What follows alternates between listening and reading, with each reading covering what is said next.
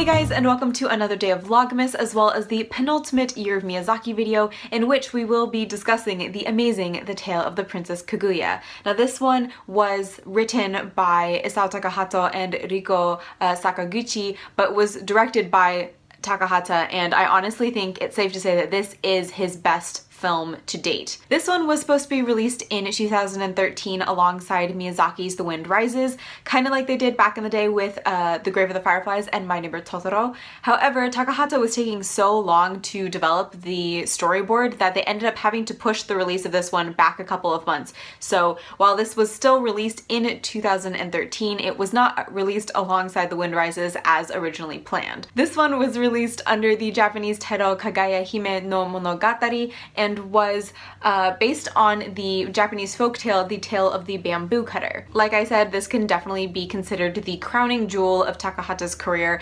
and I have so much I could say about this, so I'm gonna try and keep it to a one, coherent, but two, um, not incredibly long video. The film opens with a man working inside a bamboo grove to cut down um, specific stalks of bamboo. This man is a woodcutter named Miyatsuko and he lives with his wife um, in the countryside kind of like on the edge of this bamboo grove where he gets all his materials. A lot of this bamboo they then weave into baskets and sell to people but generally speaking they are pretty humble country folk. Something magical happens on this particular day because while Miyatsuko is working in the bamboo grove he sees one of the bamboo shoots start to glow and when he cuts it open a little it reveals this very beautiful miniature little girl in beautiful robes um, who is glowing. Convinced that she is some gift from the gods, Miyatsuko plucks her out of the bamboo shoot and takes her home to his wife, where she quickly becomes not this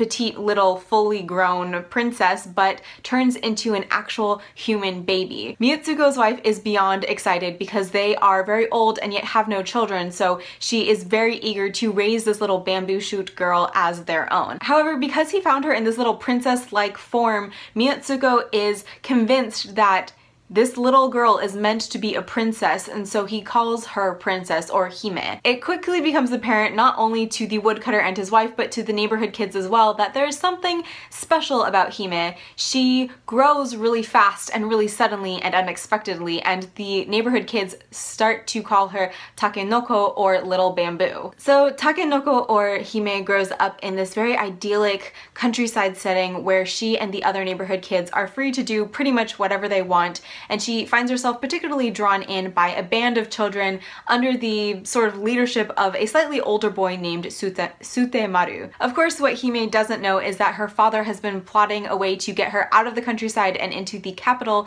because, as he says, she's never going to become a famous princess if she continues to live out in the country. So one day, the woodcutter uproots them all and moves them to a mansion that he's created in the capital for them and places Hime under the tutelage of a very strict governess whose job it is is to teach her how to be a woman of noble rank. Now Hime is a huge fan of being outdoors and running around and laughing freely and newsflash that is not proper for a lady of noble birth. The tutor pretty much tells her that she is going to paint herself, uh, do herself up and then sit there quietly and giggle cutely every single day for the rest of her life. As soon as she comes of age, her father has a naming ceremony for her in which she is given the name Kaguya Hime and uh, is basically open for suitors and that is when her life completely starts to change. Now like I said there's so much you could talk about with this film but I feel like first of all I have to address the animation. Now if you've watched Takahata's previous film My Neighbors the Yamadas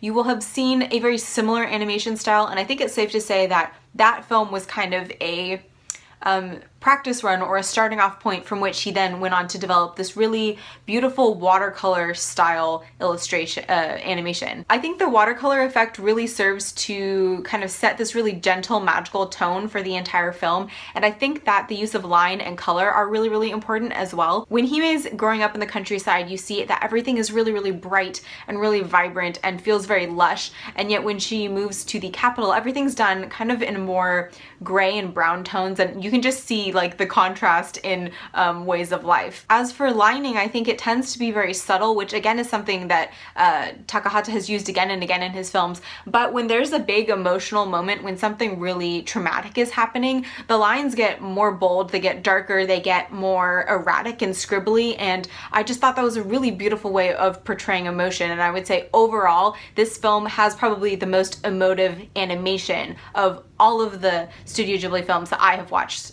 so far. I also want to mention the music really quickly because um, I've talked about Joe Hisaishi in relation to Miyazaki and that he always, always does Miyazaki's films, but this is actually the first film that Hisaishi has done for Takahata. When the project first started coming together, there was actually another composer signed on to do the score for this film, but for whatever reason he had to drop out and um, Hisaishi being kind of Studio Ghibli's go-to guy, he stepped in and I think he created a really lush really, really beautiful soundtrack. A lot of people, myself included, think of the Spirited Away score as kind of Joe Hisaishi at his ultimate best, and I would honestly say that this comes very close to Spirited Away. Um, I think it's a really rich sound and it really, really serves to um, just enhance the atmosphere of the overall film. Thematically, I think there's so much here that you could really dig your teeth into, but I just wanted to kind of touch on two general topics. The first of which is definitely um, this conflict between old money and new money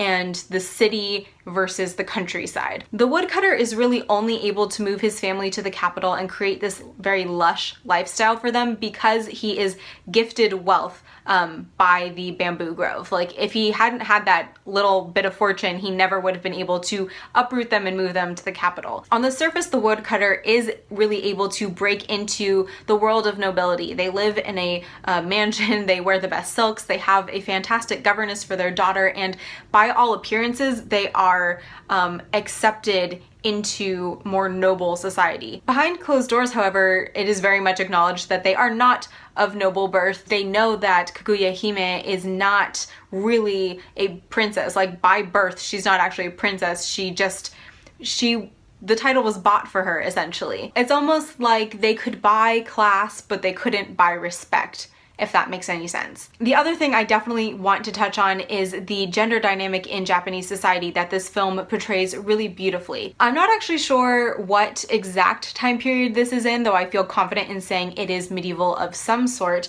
um, but you can really see that women in this society, in this era of Japan, uh, are not necessarily considered people, but they're more these rare objects uh, which men try and obtain. For example, during the courting process, Hime is astonished to realize that she's expected to marry a man without ever actually having met him and with without him ever having actually seen her face to face. They talk through these bamboo screens the whole time. So she has to listen to these men confess their undying love for her, and yet she's sitting there thinking, you don't love me, you don't even know me, you've never even seen me, and, and she's just kind of horrified by the falseness of it all. By all accounts, it seems as though uh, Kaguya Hime is powerless because she is just an object, like I said, for these men to attain. And yet, although this story is set in a world where women are objectified, where women are anonymized, and where women um, objectively have no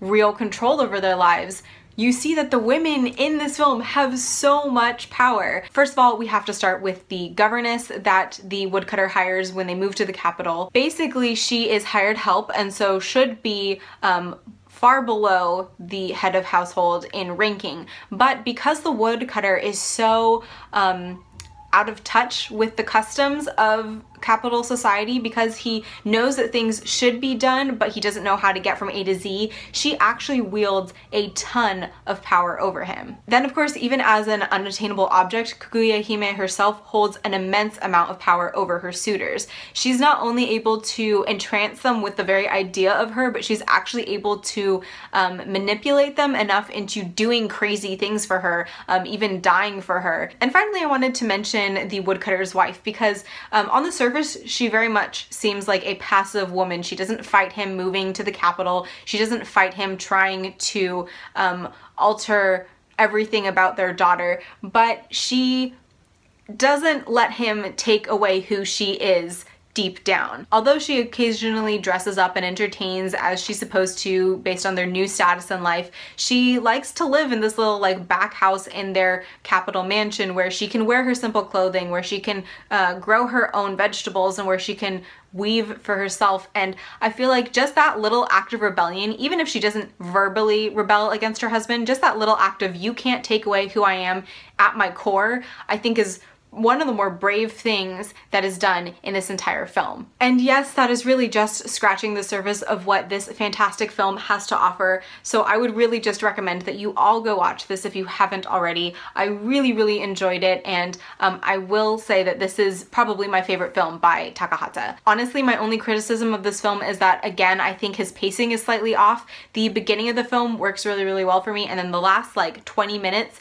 I feel like he forgot that, oh yeah, I'm supposed to be developing this part of the story and then kind of dumped a whole bunch of stuff in at the end and um, that was kind of a shame, but otherwise I think this is a beautifully done film and it's really too bad that it didn't win the Academy Award when it was nominated in 2015. So those were my thoughts on The Princess Kaguya by Isao Takahata and Studio Ghibli and um, I would love to hear what you guys think of this if you have seen it for yourselves and if not, Go watch it. Honestly, you won't regret it. The next and last film I will be watching for my Year of Miyazaki project is When Marnie Was Here, and that will be going up um, sometime this week. So thank you guys again so much for watching. I hope you have been enjoying this series of videos, and I will see you next time. Bye! Can you tell that after I get the Japanese line out, my brain's like, whew, you did it!